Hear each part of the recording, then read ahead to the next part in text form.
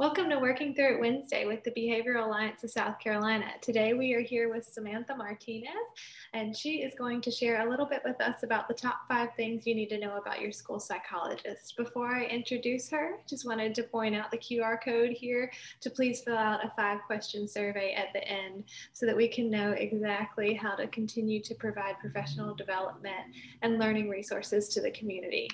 So thank you all for being here, and I'm going to introduce Samantha real quick. Uh, Samantha is originally from New Jersey, but traveled to the South to North Carolina for her undergraduate studies at Queen's University of South Carolina. At Queen's, Samantha majored in psychology and double minored in sociology and music. Samantha then pursued her master's in social work at the University of South Carolina, where she worked specifically with children, youth, and families.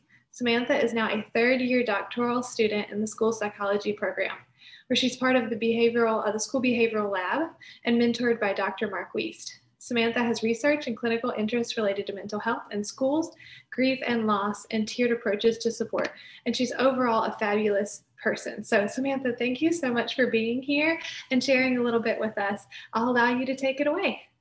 All right. Well, I'm going to try to make the presentation quick and get us to the five points um, effectively, knowing that uh, most people's ability to kind of stay engaged is shortened, including my own. So what I'm going to do is um, share my video or my presentation with you all here.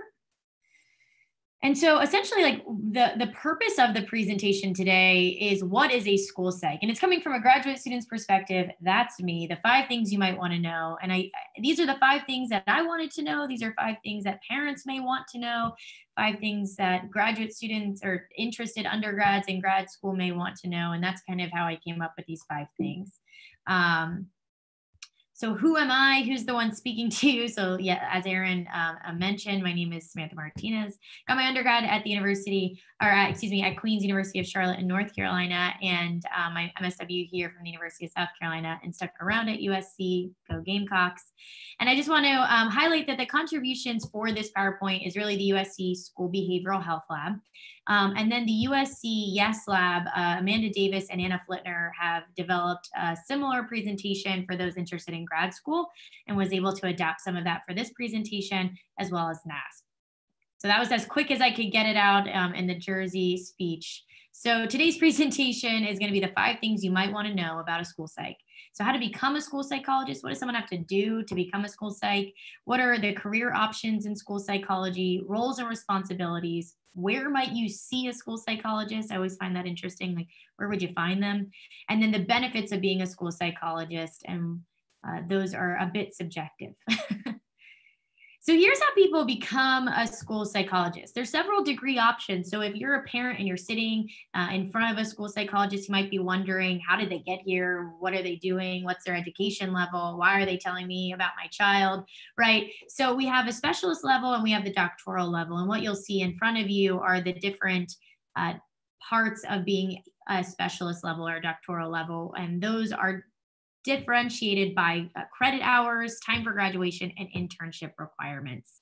So you can read those there. But the main thing that you'll see is the amount of credit hours and internship hours is really the, the main difference i would say between the special specialist level and the doctoral level one caveat that i want to uh, mention at the doctoral level in particular our graduate programs can be in the college of education as well as um, the College of Arts and Sciences in the psychology department. So here at the University of South Carolina, we are a school psych program in the psychology department, and that's a, that's different from those that receive um, a school psychologist degree or an educational uh, psychologist degree in a uh, in a Department of Ed department.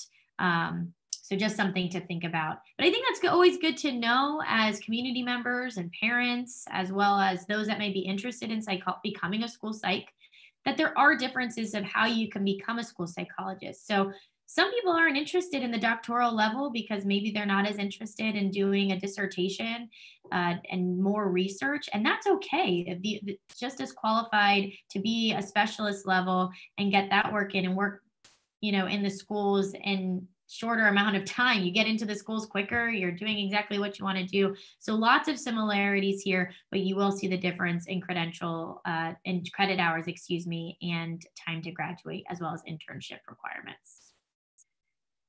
So here are some career options in school psychology, and this may be helpful um, to just note some of the differences. So, specialist level, you will likely see them in the schools or educational settings. This is where you'll usually see um, the specialist level. And sometimes, depending on their um, internship that they they took or if they have done licensure they may be at a private practice as well so you might see them there whereas at the doctoral level you're likely to see them in the schools or educational settings too um, but you may see them more in that private practice setting they are providing maybe some more clinical skills, maybe in therapy sessions. You may see them in the hospital setting, providing consultations to families, right? And then most uh, of the time, you will see them in research and academia, working on areas related to school psychology and trying to figure out what can school psychs at the individual level be doing, and how does uh, research highlights the needs of kiddos and kind of helping them at that individual level. So, what are some of the roles and responsibilities? Where are we going to see them, right? So here we go. We're at kind of, I think this is three, right? Three of the five things you want to know. But what does a school psych do? So psychoeducation assessments are huge for school psychs. They are determining overall academic, social, behavioral, and emotional functioning needs of a student. And they're doing this specifically to identify if this child or student needs additional special education services. Do they need any special education services? Are they in the right classroom? Are they in the least restrictive environment, right? Are they getting the supports that they need to maximize their experience in the classroom? Are they receiving a quality, you know, education at that basic level? And that's what we're trying to figure out. And so we might see kiddos, right, that are uh, more hyperactive in the classroom. They're they're having difficulty paying attention, and so a school psych might come in, and you might see them in a classroom observing, right? Uh, you might have a kiddo sit down to do some additional testing, like what's going on here? Are we hungry a lot of the time, and we're just not meeting that need, or is there an actual diagnosis that we could place on this, you know, to identify for this kiddo to best support them? It's the only reason why we would diagnose is to ensure that they're getting the best supports that they need in schools. You might also see a school psych providing consultation, right? So this may be they're sitting with the teacher, a teacher is having some behavioral concerns in their classroom. Teachers uh, please reach out to your school psych. They have a lot of expertise in being able to chat with you. Sometimes it's just nice. Uh, teachers know their classroom the best, and they are the expert on their classroom. And a school psych can come in as another pair of eyes to say, you know what, I saw this, or you know, a teacher might say, can you take a look? I think I'm missing something, and they might observe and come sit in the classroom and provide some support. They may provide some consultation in other areas within the school. Maybe they're developing a positive behaviors in schools and they might provide consultation on different plans and objectives that could be implemented. And you might see them around the table for that. You might see a school psych at uh, graduate, you know, you're talking to seniors about graduation. They might be at a meeting talking to seniors about what what does it look like after you graduate from high school? What's next? And providing some consultation to the admin there about how to talk to the seniors, talking to the seniors about what it might look like. So they work. The consultation is definitely more related to larger systems work. School psychs also provide interventions, right? So you might see this at an individual level, a group therapy level. So they're providing direct intervention. What does that really mean? So you might see them at a therapy session, right? You might see them at a group um, therapy session. So school psychs have training in sitting down and providing clinical expertise to help individuals who may be experiencing concerns related to depression, anxiety, um, maybe just some study skills and needing to sit in a group you know about building those as well within the school system. I know a lot of school psychs who will have different you know groups for emerging of age groups right? Of like getting all you know the, the sixth grade girls in a group therapy session to talk about what does that mean? You know what does that look like for the the sixth grade boys? What does that look like? And maybe bring them all together. How do we communicate as we are going into middle school and and the different changes that may be occurring there? Um, so those are some of those roles and responsibilities. There's a few more, uh, and I'm sorry, I'm going back and forth here on the the presentation that I that I do want to indicate as well that you may um, in a little bit that I'll that I'll highlight. So pardon me. So where would you see them? Kind of highlighted that in some of the roles and responsibilities. And so you may see them in what we call an individual education plan, a 504 meeting. So, parents, if you are in an IEP meeting, there are lots of people sitting around that table saying lots of different things that may not make sense. The point of that school psych is to really help you understand as a parent what are the rights your child's rights um, to educational supports? What are your rights as a parent? They're there to provide recommendations and just kind of let you know what's going on and hopefully make the report make sense. And that's really what that school psych so when you're sitting in a meeting if you're like i need a helping hand ask for who the school psych is and they will definitely be there to support and be an advocate for you and your student um, or your child you might see them on hospital consultation rounds, sometimes, especially in the HEMOC oncology units in the pediatric wing of a hospital. They may do rounds and you might see them, right? There's lots of doctors standing there, and you're like, who's this other person that's not maybe holding a clipboard?